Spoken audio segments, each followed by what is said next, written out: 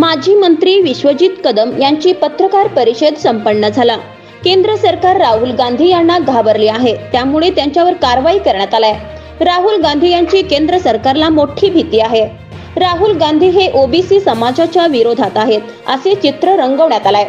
कुठल्याही थराला जाऊन विरोधकांना संपवण्याचा डाव आखला जातोय. या संदर्भात लोकांमध्ये मोठा उठाव येत्या काही दिवसात दिसेल. राज्य आणि तालुका पातळीवर देखील आंदोलन केले जाईल. पुण्याची लोकसभेची जागा कुणाची? या संदर्भात आता लगेच बोलण्याची गरज नाही. पण राष्ट्रवादीने काँग्रेसच्या फॉर्म्युल्यानुसार पुण्याची जागा हे काँग्रेसची आहे हे सांगण्याचा प्रयत्न वडेट्टीवार यांनी केला असेल पण आता ती वेळ नाहीये. विषय लक्षात घ्या ह्याच्यावर मी जास्त बोलणार नाही. पण सध्या राजकारणाची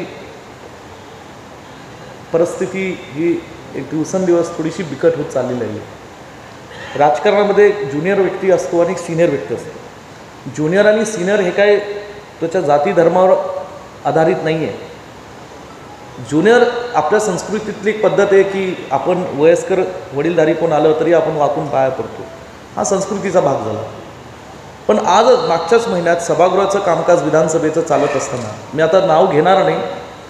महा सत्ताधारी पक्षाच्या एका तरुण आमदाराने आदरणीय शरदचंद्रजी पवार साहेबांवर एक टीका केली. त्यांचा कसा उल्लेख केला? त्याच्यानंतर दुसऱ्या दिवशी त्या दिवशी सभागृहामध्ये द गदारोळ झाला दुसऱ्या दिवशी काही गोष्टी घडल्या. मला एवढंच म्हणायचं की ज्यांनी राजकारणात समाजकारणात अनेक वर्ष काढले राहुलजी गांधी एक विषय मांडत आहेत. आणि ते सुद्धा दोन हजार चारपासून या ठिकाणी देशाच्या लोकसभेमध्ये आहेत आदरणीय श्रीमती सोनियाजी गांधी एकोणीसशे नव्याण्णवपासून देशाच्या लोकसभेमध्ये आहेत. आणि ह्यांनी देश पाहिलेला आहे. ह्यांचं देशामध्ये काम आहे योगदान आहे. ह्यांनी एखादी गोष्ट बोलणं आणि इतरांनी गोष्ट बोलणं ह्याच्यात फरक असतो. आणि शेवटी एका पदाचाही सन्मान असतो. आणि म्हणून मला असं वाटतं की केंद्र काँग्रेस पक्षाचं नेतृत्व ह्यांच्या पद्धतीने या ठिकाणी आज केंद्रीय सत्ताधारीच्या नेतृत्वावर या ठिकाणी त्यांच्या पद्धतीने हल्लेबोल करतो आम्ही महाराष्ट्राची लढाई लढतोय ना. इथं सत्ताधारी पक्षांनी जे काही चुकीचं केलं किंवा केंद्रातलंही कोणी काही चुकीचं केलं तर आम्ही ती लढाई रस्त्यावर उतरून आम्ही लढतोय. दोन दिवस झालं पुण्यामध्ये सांगलीमध्ये जी काय आंदोलनं झाली त्यात मी आहे. बंटी पाटील जी आमचे कोल्हापुरात सहभागी झाले होते. आम्ही सगळेजण त्यामध्ये काँग्रेसचे कार्यकर्ते. जिथं तिथं आवश्यक आहे तिथं लोकांच्या हितासाठी लोकांच्या न्यायासाठी आम्ही लढत आहोत. महाराष्ट्र हा छत्रपती शिवाजी महाराजांच्या विचाराचाच फुले शाहू आंबेडकरांच्या विचाराचं महाराष्ट्र आहे.